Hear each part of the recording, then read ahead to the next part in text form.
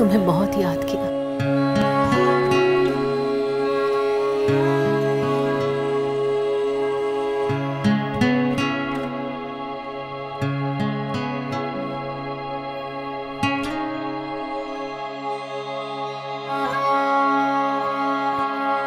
मुझे तुम पर गर्व है। और कुछ भी हो, मैं हमेशा तेरे साथ हूँ।